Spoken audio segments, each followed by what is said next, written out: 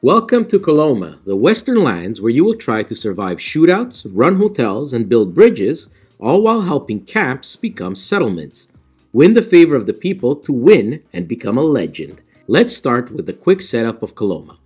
Make sure the wheel on the board is at its starting position, which is site 1 with the X above the signpost like so. Place the round marker on round 1 of the track.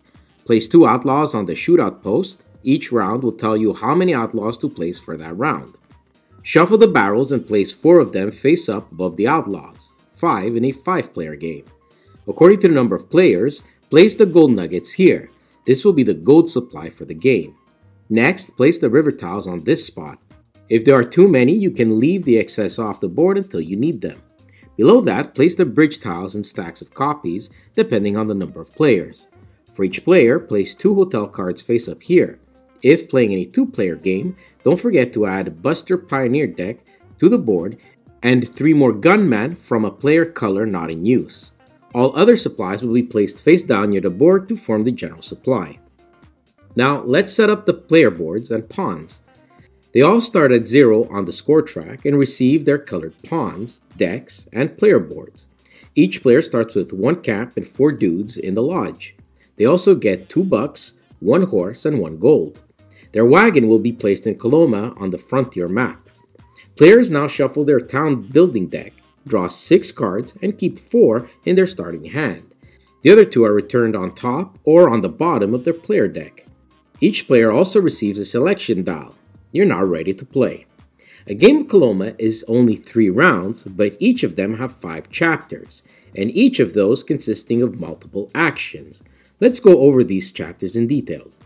First chapter is to rotate and reset the dial on the board so that the X is covering the signpost again, and then they are both moved one spot clockwise. For chapter 2, we do the event of the current site and each player will gain a reward from this event. These include dudes, gold, cards, and even bucks. You will also gain bonus rewards if you have a camp at the site. Now we move on to chapter 3, which is to secretly choose a site number on your dial. Each player does this simultaneously. Don't try to take a side that other players may also want. If too many players go at the same site, that place will be bust and yield less actions. The fourth chapter is to simply place your pioneer on the site matching the number you chose on your dial. Now, in site order and player order, each player will take the action of that site. If you're the only player there, you can also do the boom action as a bonus. This is the meat of the game, so let's explain some of these actions for each site. At site number 1, you can take all shovel actions and wheelbarrow actions from buildings you have built in your town's tableau. So before going to site 1, make sure you have buildings first. On site 2, you can survey a river or build a bridge by paying the cost listed under the hammer or saw here. Take that tile and place it above your player board. You can only build bridges over river tiles and you can only have 4 of these per game, so choose wisely. These will give you bonuses and victory points at the end of the game. On site 3, you can build buildings and hotels from your hand. The cost is listed here, and once paid, you place the card here. These will give you special abilities if you go to the site number listed on the card. When you build a building, you gain the victory points listed here, and you can also upgrade one of your buildings into a hotel, but you then lose the ability of that building. These hotels, however, will give you up to 6 victory points each, depending on how many dudes you have in our lodge at the end of the game. On site 4, you can explore the frontier. For each horse you have, you can move your wagon that many spaces on the map. If you land on a town or city, you'll gain the rewards listed here. These range from dudes, gold, camps, and even barrels. On site 5, you can settle the frontier and defend Coloma. To defend Coloma, you must place dudes on one of the rows fighting the outlaws. You must fill the entire row though, so make sure you have enough dudes. If you want to settle camps, you can do so by placing one on any of the sites where you do not already have one there.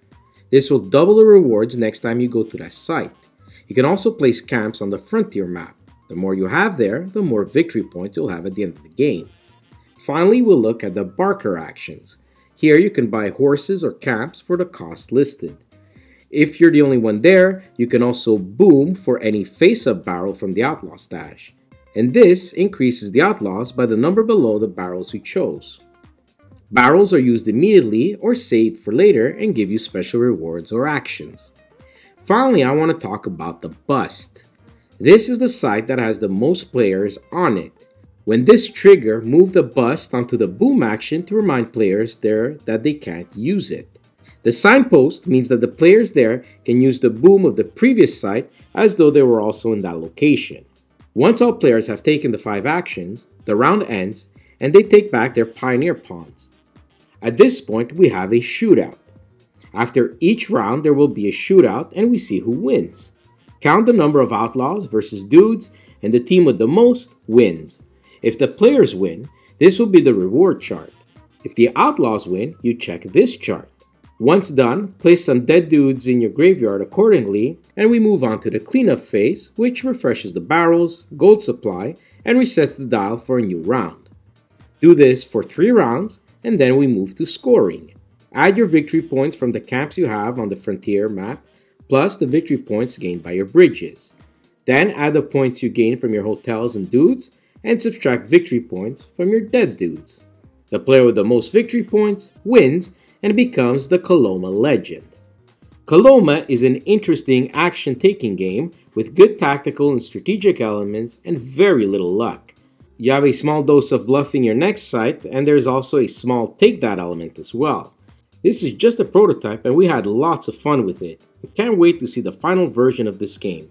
The artwork is right on the mark and the icons are clear and easy to understand. If you like resource management, the Wild West, mixed with some Euro action taking, check out Coloma on Kickstarter. And as always, if you like it, back it.